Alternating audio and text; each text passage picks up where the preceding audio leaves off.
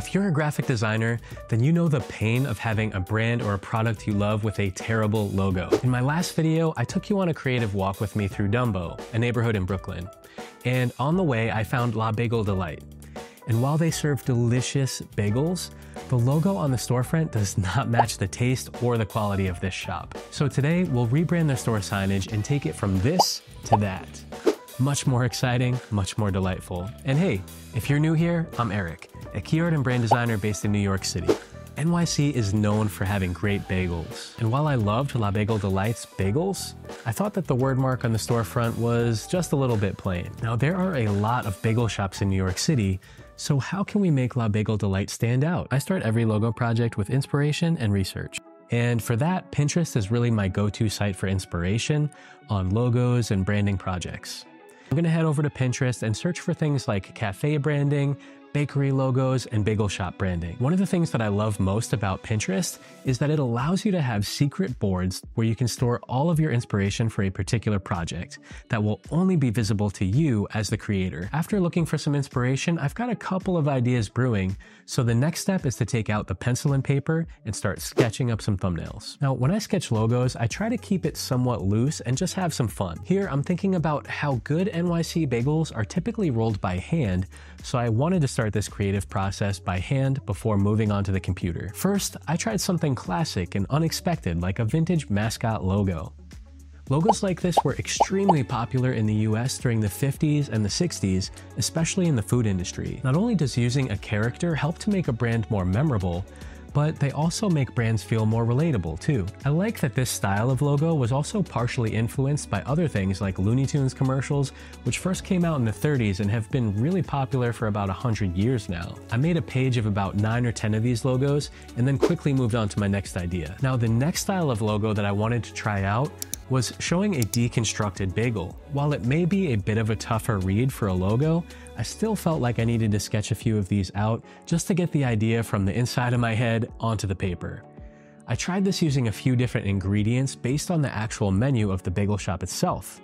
So I did a few sketches that had bacon, egg, and cheese sandwiches, and then I also did a few that had lox, capers, tomatoes, and onion, which is also really popular and really delicious. Ultimately, once I finished a few pages of sketches, I had to decide which one I wanted to move forward with and the vintage mascot logo seemed like the stronger of the two directions that I could have a bit more fun with. The reason I think that a mascot logo can work so well for this particular bagel shop is because vintage mascot logos like this help to portray longevity and reputability. At this point, I snapped a few photos of the sketches with my iPhone, and then I sent them to my laptop so that I could import them into Adobe Illustrator. Once I imported the sketches, I scaled them down a bit to fit them onto my artboard, and then I double clicked on the layer to dim the opacity and locked it. I like to do this with my reference to make sure that it stays in place, and so that I can easily turn the visibility on and off while I'm working. The nice thing about doing a handful of sketches is that I can now pick and choose my favorite elements from each one and assemble them into a character, sort of like a Mr. Potato Head. Here, I am using the spacebar to get the hand tool,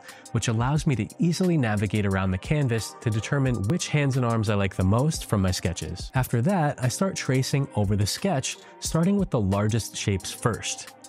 Typically, whenever I'm creating a logo in Illustrator that has a bit more of an illustrated look, I like to work from the outside in by first tracing the outer shape and then adding the smaller shapes and details on the inside. I also toggle back and forth between the selection tool and the direct selection tool using the V and the A keys respectively on the keyboard to grab individual points so that I can move them around and ensure that everything lines up nicely. I would recommend zooming in and out frequently while you're working so that you can just see how everything is looking. If I stay too zoomed in while I'm working, I find that it's easy to lose sight of the big idea.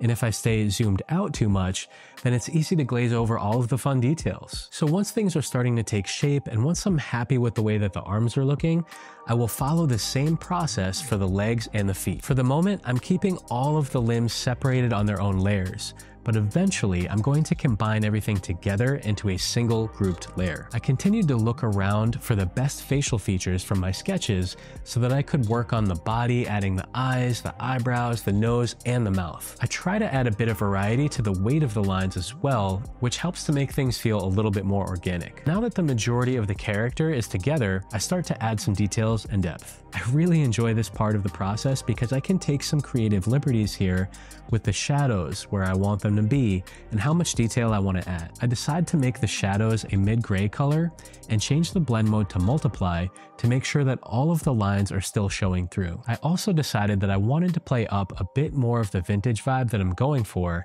by using a bit of a dot pattern inside of the shadows, almost like a halftone effect. For this, I created a few rows of circles, duplicated them, grouped them together, and then used the Pathfinder tool to merge them into a single shape. Once I had the pattern, I duplicated it and laid it on top of the shadows before creating an opacity mask for each shadow so that the pattern is only visible in those specific areas. Now, this is a pretty useful technique when adding texture in Illustrator because it gives you a lot of control over where you want them to be visible, just like using a layer mask in Photoshop. I use the same technique when adding the zigzag pattern on the bottom of the sneakers to add a little bit more variety and visual interest. When I'm happy with how the character is looking, I group everything together and then I start to think about the typography. The original Wordmark is kind of a basic script font, but I wanted to experiment with a few vintage looking typefaces that I downloaded from Envato. While there are some decent websites out there for free fonts, I just find that Envato tends to have more unique looking typefaces, especially display fonts and after downloading a few of them, I begin experimenting with these typefaces inside of Illustrator. Any logo or branding project, it's really important to establish not just a single font, but looking for unique combinations and font pairings that can work well together in a brand system. The reason for this is because there will be instances where a brand needs a font for headlines, for body copy, for callouts, and certain uses where it's just beneficial to have some variety as opposed to using the same font for everything. Because I'm working with a longer name here, I decided that placing the type on a circular path would work best. Doing this also helps the type to feel more integrated because it just sort of wraps around the bagel mascot rather than feeling like it was just slapped on. After experimenting a bit more with the text, I add in some other details like the Brooklyn NYC type and a quick tagline that I came up with. I'm not much of a copywriter, but I thought Delight in Every Bite could kind of tie into the name and give me an opportunity to ground the logo by having some text running along the bottom.